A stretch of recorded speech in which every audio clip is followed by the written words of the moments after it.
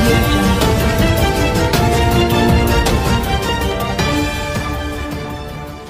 అందరికి నా హృదయపూర్వక కృతజ్ఞత ఇంత దూరం వచ్చినందుకు మీరు నన్ను ఇన్ని సంవత్సరాల నుంచి చూస్తూ ఉన్నారు. రివ్యూ మీటింగ్స్లో ఉన్నాను మీరు అంత ఇంత అభిమానంతో వచ్చినందుకు నేను మీకు మాటిస్తున్నాను నన్ను ఓటమిలు నాకు కొత్త కాదు నాకు. దెబ్బ తినే కొద్దీ నేను ఎదిగే వ్యక్తిని తప్ప తగ్గే వ్యక్తిని కాదు.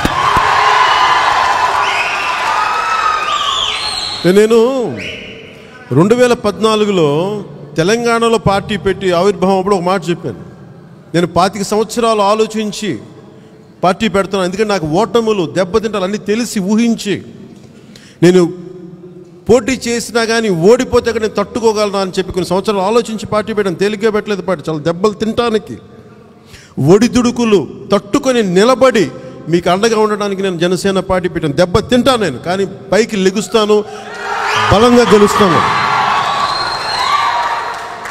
అలాగే ఒక్కొక్క రివ్యూ మీటింగ్స్లో ఈవీఎంలు ట్యాంపరింగ్ అని డబ్బులు అన్ని రకాల మాటలు వస్తూ ఉన్నాయి.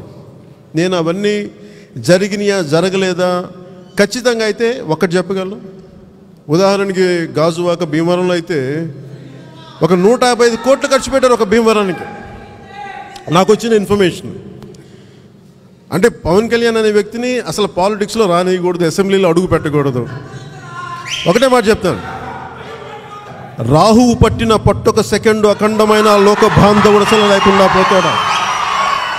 మూర్ఖుడు గడియారంలో ముళ్ళు కదనీయకుంటే ధరాగమనం అంతటితో తలకిందైపోతుంది కుటిలాత్మల కూటమికి ఒక త్రుటికాలం జయం జయమొస్తే విశ్వ సృష్టి పరిణామం విచ్ఛిన్నమవుతుందా? అంటే ఒక ఓటమి జనసేనను ఆపలేదు. అదే గుర్తుపెట్టుకోండి. బలం తీసుకోండి రోడ్ల మీదకి వెళ్ళి నేను చెప్పాను నేను మొన్న నా శవాన్ని నలుగురు మోసే వరకు నేను జనసేనను ముందుకు తీసుకెళ్తాను. కసి కావాలి మనకి దెబ్బ నేను ఒకటే చెప్తున్నాను మీకు ఒక బలమైన నాకు ఈ రోజున ప్రభుత్వం వైసీపీకి ఇచ్చింది ప్రజల ప్రభుత్వం దాన్ని గౌరవిద్దాం. ఏ యుక్తులు పనినా ఏమి చేసినా ప్రభు ప్రజలు వాళ్ళకి అండగా నిలబడ్డారు నేను దాన్ని గౌరవిస్తున్నాం వాళ్ళు ఎలా చేస్తారో కూడా పరిపాలన చూద్దాం.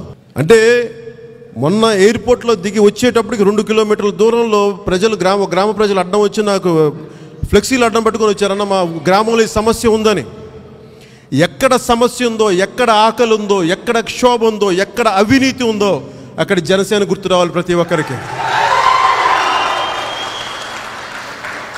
ఒక ఓటమి ఒక మనిషి అనేవాడు ఎప్పుడు బయటకు వస్తాడంటే గెలుపులో తెలియడాడేవాడు ఎవడు మనవాడు?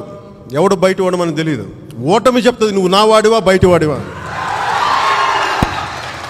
లక్షల మంది వచ్చారో లేదో నాకు తెలియదు కానీ ఇప్పుడు వచ్చిన మీరు. నా గుండెలో. ఏంటండి? వీడియో నచ్చిందా? అయితే ఓ లైక్ వేసుకోండి లేదంటే ఓ కామెంట్ చేయండి. ఎప్పటికప్పుడు మా వీడియోస్ చూడాలంటే సబ్స్క్రైబ్ చేసుకోండి.